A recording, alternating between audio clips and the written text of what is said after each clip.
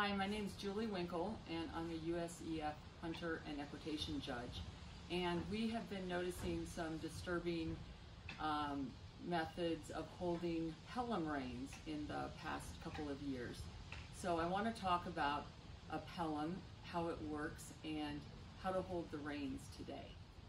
So I want to start by talking about what a Pelham is. Uh, a Pelham is a leverage bit. And I have some examples of different Pelhams here uh, that we can start with. Uh, a Pelham works on pressure under the horse's chin, and that's where the chain comes in, the, the uh, curb chain. The longer the shank is, the more severe it is. Uh, there's a lot of different types of mouthpieces as well but I want to concentrate on the idea of where the pressure is put on the horse's mouth when we talk about how to properly hold the reins. This is an example of a very short shank, and this is known as a tom thumb pelham, uh, not as severe. And this is a different type of pelham that has a long shank and a more severe mouthpiece. But all of the Pelhams have one thing in common, and that is that the top ring acts as a snaffle rein, which is the least severe bit you can put in a horse's mouth. Okay, so we're going to talk about fitting the Pelham now. Okay, we're going to talk about the fit of the Pelham in a horse's mouth. And besides having a couple wrinkles in the corners of their mouth, I want to talk about the, the chain, the curb chain. When you put the curb chain on, first of all, the chain should always be rolled until it's flat against the horse's chin. If, when you uh, fasten this, then you want to make sure you don't have too many loops at the end. This should be cut off if it's uh, got more than one loop because it's annoying to the horse, as well as um, another thing for a judge to catch their eye on. Then this piece under here is called a lip strap. This keeps the chain in place and it runs through the bottom ring. Okay, now when we talk about pressure, this top rein is your snaffle rein. The top rein puts pressure on the corners of the horse's mouth, which is the most sensitive part of the horse as far as communication goes. When you pull on the bottom rein, it puts pressure on the chain under the horse's chin and causes the horse to have more irritation and it gives the more severe control to the rider. So snaffle rein, curb rein.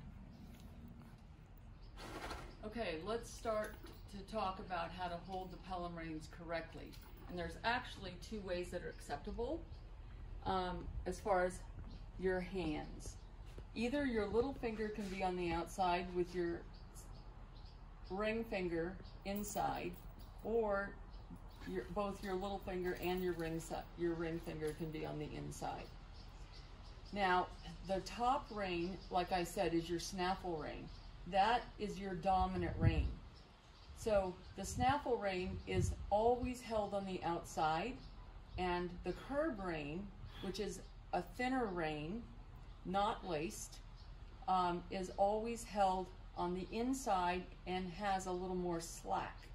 So you don't use the bottom rein unless you need something or you're not giving a reaction to the snaffle rein.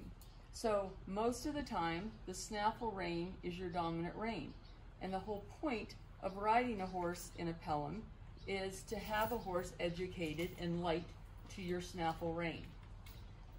Now, what we've unfortunately seen way too much is the Pelham reins held backwards. And backwards meaning that the curb rein is on the outside and tighter, and the snaffle reins on the inside. So this is upside down and we see it a lot it puts all the pressure on the curb rein and it becomes a very severe bit. So this is not what a Pelham was intended to do, and nor is it correct. So this is not classical riding. Uh, this is always proper with a snaffle rein on the outside.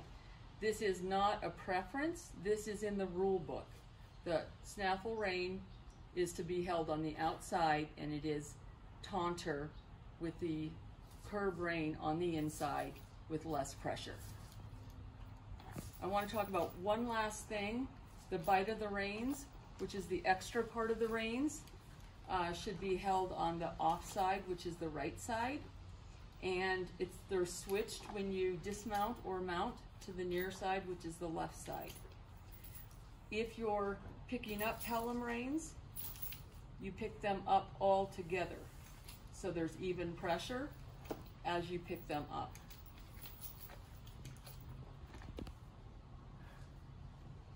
Okay, so I hope uh, the video today helps clarify how to properly hold the Pelham reins, why they're held like this, and we hope to see you in the ring holding your Pelham reins correctly.